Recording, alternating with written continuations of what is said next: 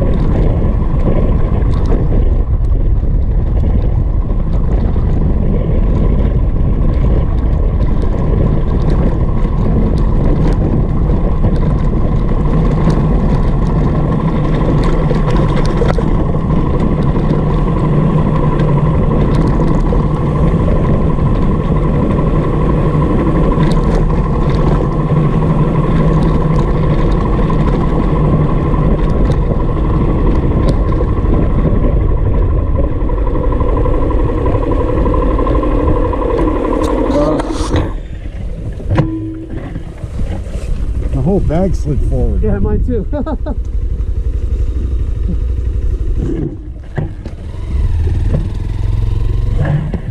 That's good.